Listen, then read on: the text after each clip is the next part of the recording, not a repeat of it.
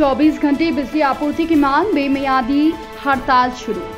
ज़िले के करेरा क्षेत्र के तहत आने वाले सिरसौर क्षेत्र के किसानों को फ़सल की सिंचाई के लिए लगातार 24 घंटे बिजली आपूर्ति किए जाने की मांग को लेकर अतर सिंह लोधी ब्लॉक अध्यक्ष लोधी समाज और किसानों ने बेमियादी हड़ताल शुरू की है। किसानों ने कहा है कि जब तक उन्हें 24 घंटे बिजली नहीं मिलेगी, तब तक ये बेमियादी हड़ताल चलती रहेगी। जानकारी के मुताबिक रविवार को अतर सिंह लोधी ब्लॉक अध्यक्ष लोधी समाज के बैनर तले सैकड़ों किसानों ने आंदोलन शुरू कर दिया है। इसी के साथ साथ आसपास के गाँव के लोग भी इस आंदोलन में जुड़े रहे हैं। जब तक मांगे पूरी नहीं होती, तब तक आंदोलन जारी रखने की चेतावनी है। जहाँ अब तक किसी भी प्रशासनिक अधिकारी ने प्रदर्शनकारी व्यक्ति से मुलाकात नहीं की है। इस समस्या को लेकर क्षेत्रीय किसानों ने शीघ्र समस्या का निदान करने की मांग की है।